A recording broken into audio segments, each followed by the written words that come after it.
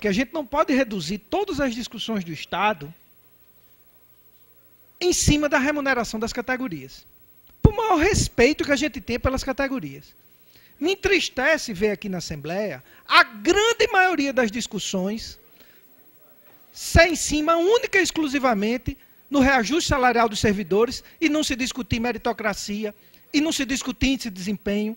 Porque nós temos grandes professores no Rio Grande do Norte, mas tem professor ruim também, que não merece ganhar a mesma coisa do bom, não.